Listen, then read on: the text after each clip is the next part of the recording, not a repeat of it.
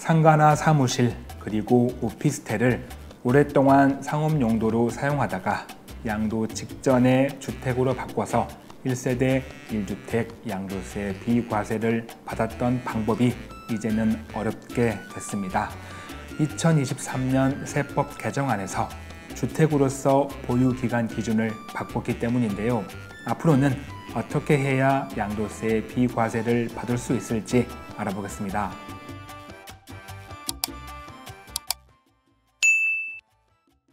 네, 안녕하세요. 박찬웅의 부동산 쇼 부자남 박찬웅입니다. 이번 시간은 상업용 건물을 주택으로 바꿔서 양도세 비과세 받는 방법에 관한 얘기입니다.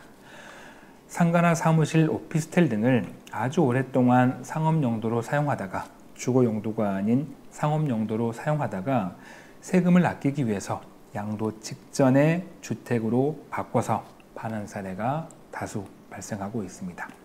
이게 왜냐면 음, 이 사람이 만약 주택을 하나라도 가지고 있었다면 이렇게 하진 않습니다. 그런데 주택을 가지고 있지 않았다면 무주택이라면 해당 상가나 사무실, 오피스텔 등을 아주 오랫동안 상업 용도로 사용했다 하더라도 어쨌든 팔기 직전에 주택으로 바꿔버리면 이때는 1세대 1주택에 해당이 됩니다. 그래서 1세대 1주택 양도세 비과세를 받을 수가 있는 거죠. 그래서 이렇게 바꿔서 파는 겁니다. 이게 우리 입장에서 보면 세금을 아끼는 거죠. 어쨌든 비과세 받는 거니까. 하지만 반대 입장인 국가에서 보면 이건 단순하게 세금을 피하기 위한 방법으로 본다는 거예요. 조세 회피로 본다는 겁니다. 그래서 이번에 2023년 세법 개정안에서 이렇게 상가나 사무실, 오피스텔 등을 아주 오랫동안 상업 용도로 사용하다가 주택으로 바꿔가지고 만약 1세대 1주택 양도세 비과세를 받으려고 한다면 그때 보유기간, 이 보유기간은 주택으로서 보유기간입니다. 이 보유기간 기준을 바꿔버린 거예요. 어떻게 바꿨냐면 크게 두 가지를 바꿨습니다. 첫 번째는 1세대 1주택 양도세 비과세 보유기간 이 기준 바꿨고요. 두 번째는 1세대 1주택 장기 보유 특별 공제액도 바꿨습니다. 먼저 1세대 1주택 양도세 비과세 보유 기간을 보면 현재 법은 해당 자산의 취득일부터 양도일까지입니다. 해당 자산이면 앞서 말씀드렸던 상가나 사무실 그리고 업무 용도로 사용하는 오피스텔 등이겠죠. 자, 이런 것들을 취득할 때부터 양도할 때까지로 보는 거예요. 사실 단순하게 이렇게 보면 이 말이 맞게 보입니다. 당연히 보유 기간은 내가 샀을 때부터 팔 때까지죠. 한데 문제는 뭐냐면 이게 원래부터 주택이 아니었잖아요. 처음에는 상업용 건물이었다가 나중에 주택이 된 거란 말이죠. 그러면 우리가 이 1세대 1주택 비과세 요건을 보면 음, 비조정 대상 지역에 주택을 취득했다는 가정하에 최소한 2년 이상은 가지고 있어야 양도세 비과세가 되는데 1세대 1주택일 때 현행법이 해당 자산의 취득일부터 양도일까지로 되어 있다 보니까 예를 들어서 어떤 사람이 10년 동안 상가나 사무실, 오피스텔 등을 상업 용도로 사용하다가 주택으로 용도를 바꿨습니다. 용도 변경한 거죠.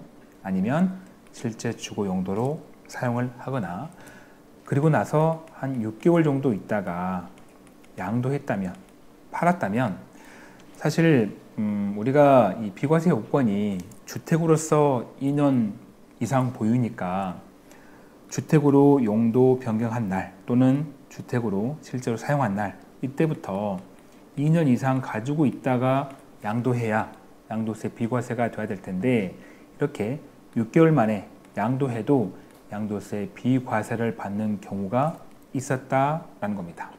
해당 자산의 취득일부터 양도일까지로 봐서 2년 이상을 충족했다라는 거죠. 근데 제가 어, 이렇게 비과세를 받는 경우가 있었다라고 했잖아요. 경우라고. 이게 왜냐면 음, 이게 case by case로 다 경우의 수마다 다릅니다.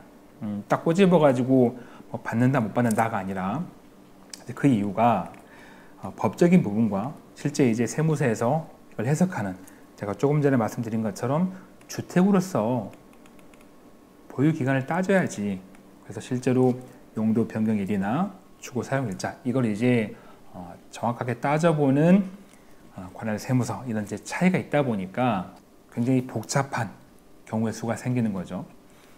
그래서 이걸 심플하게 아 법제화 시켜야겠다. 실제 실무에서도 법은 이렇게 되어 있지만 이걸 따지는 경우가 있으니까 아예 법제화 시켜서 개정안을 보면 1세대 1주택 비과세 보유 기간은 용도 변경일 상업용에서 주택으로 용도 변경한 날짜 또는 실제로 주거 용도로 사용한 날짜 그때부터 팔 때까지 그 기간을 보유 기간으로 보겠다. 이렇게 법제화 되어 있으면 이제 앞으로는 용도 변경했거나 실제로 주거로 사용한 날 그때부터 최소한 2년 이상은 가지고 있다가 팔아야 양도세 비과세가 되는 거겠죠. 그래서 이제 어, 이런 경우에 해당이 되신다면 앞으로 파실 때는 아, 내가 이제 용도 변경하고 또는 실제로 주거를 사용했다면 그때부터 최소한 2년 이상은 가지고 있다가 팔아야 비과세가 되는구나 라고 생각하시기 바랍니다. 두 번째로 바꾼 게 1세대 1주택 장기 보유 특별공제도 바꿨다고 그랬죠. 현재 기준은 어, 보유 기간을 해당 자산의 최대일부터 양도일까지로 봐가지고 공제액을 산출합니다. 근데 앞으로 바꾸는 걸 보니까 여기에 단서를 만드는 거죠. 단서를. 어떤 단서냐면 다만 용도 변경으로 1세대 1주택에 해당할 경우에는 전체 보유 기간에 대한 일반 공제율, 일반 공제율이면 1년당 2%, 15년 최대 30% 이걸 적용한 거. 아니면 용도 변경일부터 양도일까지 이런 비과세 요건과 똑같이 그 보유 기간을 봐가지고 1세대 1주택 공제율을 적용한 금액. 1세대 1주택 공제율이면 1년 최대 8%입니다. 보유 4%, 거주 4% 해가지고 1년 최대 8%, 10년 최대 80% 이걸 적용한 거 둘 중에 더 큰 금액을 공제해 주겠다라고 바꾼 거죠. 그리고 이 두 가지 개정안은 언제부터 시행되는 거냐면 이것도 굉장히 중요하겠죠. 이게 1년 동안은 유예 기간을 줍니다. 그 이유가 이렇게 바뀔 줄 모르고 미리 뭐 용도 변경을 했거나 또는 주거로 사용한 사람도 있을지 모르니까 1년 정도 유예 기간을 주고 2025년 1월 1일 이후에 양도하는 것부터 파는 것부터 적용을 받습니다. 물론 그 전에 단서는 이 개정안이 반드시 국회 본회의를 통과해야겠죠. 개정안이. 근데 아마 이거는 어, 그동안 좀 문제가 많았던 걸 법제화시키는 거니까 큰 이변이 없는 한 그대로 통과가 되지 않을까 싶습니다. 그리고 여기서 여러분이 주의하실 게 있는데요. 그건 지금 법과 앞으로 바뀔 법 사례를 보면서 설명드리겠습니다. 지금 그림을 보시면 두 가지 사례가 있는데요. 첫 번째는 지금 법 기준, 두 번째는 앞으로 바뀔 법 기준입니다. 먼저 지금 법 기준을 보면 만약 2018년도 9월 달에 상가나 사무실, 오피스텔 이렇게 상업용 건물을 취득해 가지고 6년 정도 상업용으로 쓰다가 2024년 9월 달에 주택으로 용도 변경하거나 아니면 주거 용도로 사용하고 나서 2024년 12월 달에 양도했다면 그러면 실제 주택으로 가지고 있던 기간은 3개월입니다. 그리고 이때 양도할 때는 주택으로 양도하는 거죠. 주택으로 바뀐 거니까. 그러면 1세대 1주택 양도세 비과세를 받을 수도 있다라는 겁니다. 지금 법 기준은 보유 기간이 자산을 취득한 날부터 양도일까지니까 2년 이상 보유 기간을 충족해서 물론 이제 이때 1세대 1주택 양도세 비과세 요건은 2년 보유입니다. 자, 그런데 앞으로 법이 개정이 돼 가지고 뭐 이렇게 1세대 1주택 양도세 비과세 보유 기간을 따질 때 용도 변경일 또는 실제로 주택으로 사용한 날 그때부터 양도일까지로 본다면 예를 들어 보면 2018년도 1월 달에 상업용 건물을 취득해서 한 7년 정도 상업용으로 쓰다가 2025년 1월 달에 주택으로 용도 변경하거나 주거 용도로 사용하고 나서 2년 이상 지난 다음에 2027년 2월 달에 양도한다면 이때 양도도 주택으로 양도하는 거죠. 그러면 1세대 1주택 양도세 비과세를 확실하게 받을 수가 있습니다. 왜냐하면 주택으로 용도 변경하고 주거로 사용한 날부터 어쨌든 2년 이상 가지고 있다가 팔았으니까 물론 이때 1세대 1주택 양도세 비과세 요건도 2년 보유입니다. 자 그래서 그림에서 보시는 것처럼 1세대 1주택 양도세 비과세 요건이 2년 보유일 때는 큰 문제가 없어요.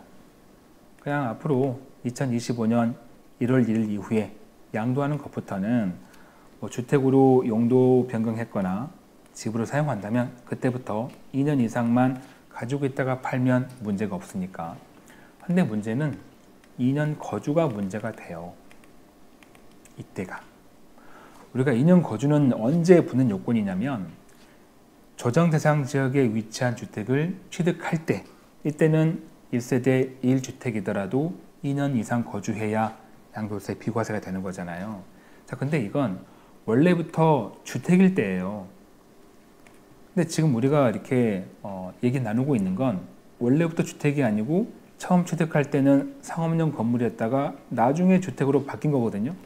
자, 그러면 이때 이 처음에 상업용 건물일 때 취득했던 이 시점에 그 상업용 건물이 위치한 지역이 조정 대상 지역이었는지 아니면 비조정 대상 지역이었는지를 따져가지고 조정이었다면 2년 거주인 거냐. 자, 이거하고 어쨌든 이때는 주택이 아니었으니까 실제 주택이 된 날, 그러니까 주택으로 용도 변경한 날 또는 집으로 사용한 날, 이때 이 주택이 위치한 지역이 조정 대상 지역이었는지 아니면 비조정 대상 지역이었는지를 따져가지고 조정 대상 지역이라면 아 이때부터 2년 거주가 붙는 거야 이렇게 할 건지 기준점이 어디인지가 문제가 되는 거예요.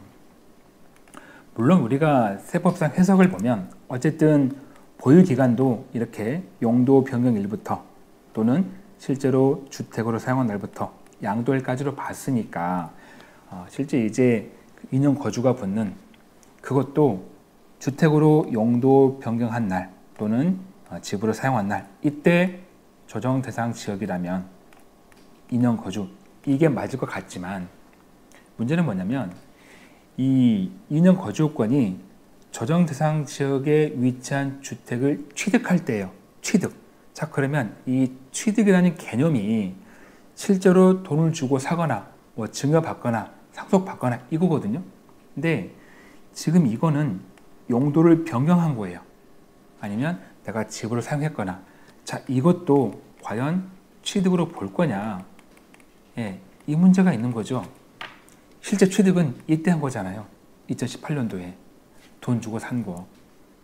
그래서 이 취득의 개념 때문에 이때를 기준으로 할지 이때를 기준으로 할지가 좀 개인적으로 봤을 때는 문제가 있지 않을까. 물론 실제로 법이 개정이 되면 아마 이 부분도 음 어떤 기재부 해석이 나오거나 아니면 실제 법령에서 좀 세분화 시켜가지고 법제화 시킬지 모르겠지만 지금 시점에서는 이게 조금 어, 우려가 된다라는 겁니다. 그래서 여러분은 가장 안전하게 가시려면 이때가 아닌 이때를 기준으로 아, 내가 실제로 주택으로 바꿨거나 아니면 집으로 사용한 날 그때 조정 대상 지역이라면 2년 거주가 붙는 게 맞지 않을까 아, 싶은 생각이 듭니다. 이렇게 가는 게 맞지 않을까. 하지만 또 앞으로 어떻게 법 해석이나 어, 법령이 나올지 모르니까 음, 확실하게 팔기 전에는 먼저 기재부에 물어보고 답을 구한 다음에 파는 지혜가 필요하겠죠. 자 결론을 내보면 음, 이게 좀 복잡하니까 아, 난 그 전에 복잡하기 전에 이런 케이스에서 나 그냥 비과세 받고 싶다라고 하시면 그쵸 1년 동안 유예 기간을 주니까 음, 내년까지 2024년 12월 31일까지 어, 그 전에 주택으로 용도 변경하거나 주거 용도로 사용을 해서 팔면 지금 법 기준을 받거든요. 그래서 그때까지 파시는 거고 이제 2025년 1월 1일 이후에 판다면 음, 1세대 1주택 양도세 비과세 요건이 2년 보유라면 큰 문제가 없다는 건 그냥 주택으로 바꿨거나 주거로 사용한다면 그때부터 2년 이상만 가지고 있다가 팔면 되는데 중요한 건 2년 거주. 이 조정 대상 지역에 위치한 주택을 취득한 것 그 시점을 애초에 상업용 건물을 취득할 때로 볼, 볼 것이냐 아니면 내가 주택으로 바꾼 날을 볼 것이냐 이건 조금 문제가 있으니까 어, 여기에 해당되신다면 반드시 먼저 기재부나 주변 세무사님의 답을 구하고 양도하는 지혜가 필요하겠습니다. 마무리할 시간입니다. 저에게 큰 힘이 되는 구독하기와 좋아요, 알림 설정 꼭 눌러주시고요. 저는 다음 영상에도 최선을 다하겠습니다. 고맙습니다.